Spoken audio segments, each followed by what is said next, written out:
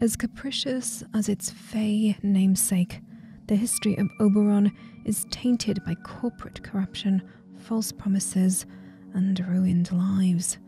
This seven planet system orbits a stellar remnant, which offers scant heat to its companion worlds and even less light. From its discovery in 2356, and throughout its almost 600 years of habitation, Oberon has tempted dreamers to its dark skies. Like the Californian gold rush of the 1800s, modern day prospectors flocked to Gonn, the first planet in the system, hunting for a specific allotrope of carbon, more commonly known as diamonds. Gonn promises wealth beyond measure, but thus far all any have reaped is discontent. This system's unclaimed status has made it a playground for corporate exploitation, which leads us to Uriel, the second planet of the system. Under its glacial surface, settlers have carved out a meager existence. The original inhabitants were tempted to Oberon by the Titania Terraforming Corporation with the tagline, The world of your dreams is yours for the making. And thousands left Sol buying up land on the surface of Oberon II. But because of the dead star at the heart of the system, conventional forms of terraforming were impossible, though the company recklessly employed an untested and highly experimental method.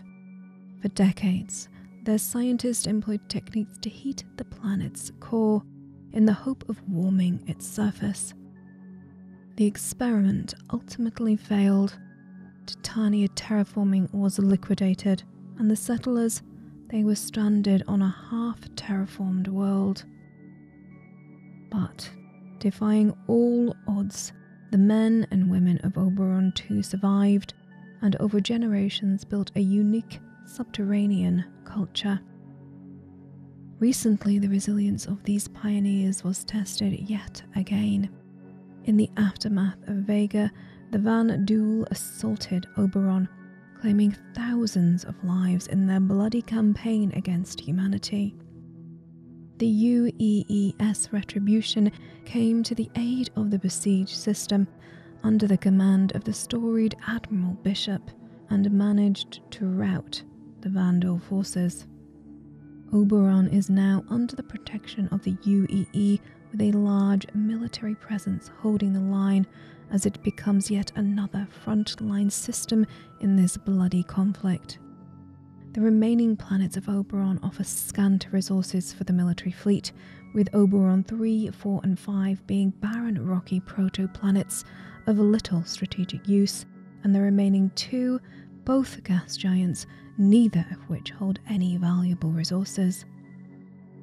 The fate of this star crossed system looks bleak, and if it were not for the bravery of the men and women of the Retribution, this article could well have been an obituary for the entire Oberon system and its unfortunate denizens. But one thing I know if anyone can weather this storm, it is the seasoned survivors of Uriel. They say their world was named Uriel because in the darkness of their tunnels, only God's light could reach them.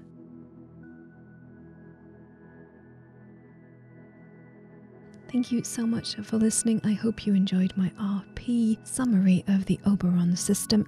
And if you did, please show some love to Ada, Hain, Molanai, Sundrake, Jolly Joe Star, Dark Griever, and all my fantastic patrons, without whom I would be unable to dedicate the time and resources I do to all my channels.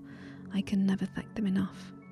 Now, I hope you will join me again for more Star Citizen lore, but until then, as always, thanks for watching.